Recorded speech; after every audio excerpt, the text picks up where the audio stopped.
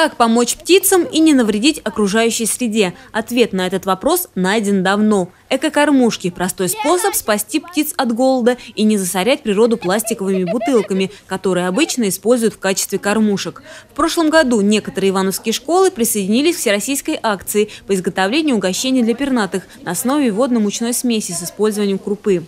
Мы всегда с бабушкой делаем зимой кормушки, чтобы птицам было что есть. Их надо сделать, чтобы наши птицы, которые прилетают на зиму, э, чтобы они, э, у них была еда на зиму, э, чтобы они не умерли этой зимой, чтобы они это все пережили.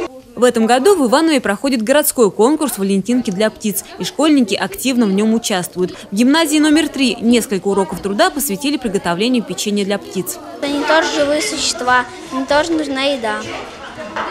А если, а если они погибнут, тогда будет жизнь скучной, потому что над тобой всегда летают птички и поют. Рецепт эко-кормушек на удивление прост. Зерно смешивают с клейкой мучной массой, растопленным маслом или салом. Смесь выкладывают в самые обычные формочки для печенья и дают высохнуть.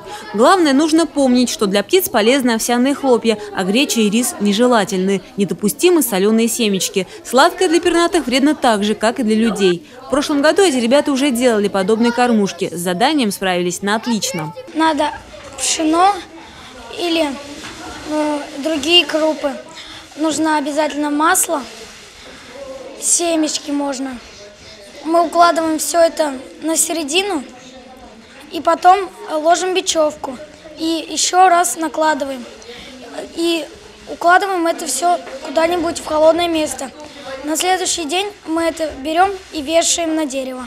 Жюри будет оценивать эко-кормушки по фотографиям. Более подробно о конкурсе «Валентинки для птиц» можно узнать на сайте городского управления образования. Там же размещен обучающий видеоролик. Итоги конкурса подведут 1 апреля, когда отмечается Всемирный день птиц. Главный приз конкурса предоставит глава города Иваново. Любовь Почерникова, Денис Денисов, РТВ Иваново.